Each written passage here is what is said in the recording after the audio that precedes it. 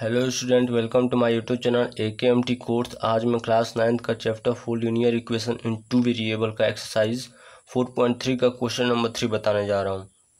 जो question number three है, बोल रहा है इफ़ द पॉइंट ये कोई पॉइंट है थ्री कॉमा फोर ठीक? Lie on the graph the equation दिया है three X equal to A X plus seven find the value of A ठीक?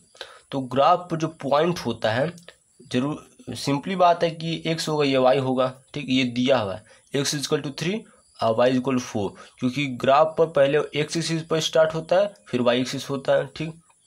और ये इक्वेशन दिया है। तो इक्वेशन में ए का वैल्यू निकालने के लिए हमको एक्स और वाई का वैल्यू इसी इक्वेशन में पुट करना होगा। आइए पुट करते हैं और निकाल लेते हैं। तो थ्री वाई है।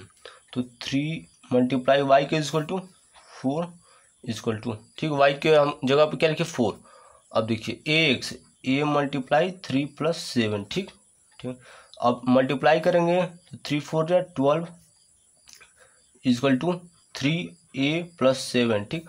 अब सेवन को इधर इधर ट्रांसपोज कीजिए twelve minus seven equal to three A अब करेंगे तो ट्वेल्व माइनस सेवन फाइव हो जाएगा, ठीक? और ए है, जो थ्री है वो मल्टीप्लाई में है तो मल्टीप्लाई से हटेगा तो डिनोमिनेटर में आ जाएगा यानी डिवाइड में आ जाएगा इजक्ल टू ए। ये आपका आंसर हो गया। बस फाइव अपॉन थ्री, ये आपका आंसर हो गया। थैंक यू अगर हमारा वीडियो अच्छा लगे तो हमारे channel A K M T course को सब्सक्राइब कीजिए, एक लाइक कीजिए। जय हिंद, जय भारत।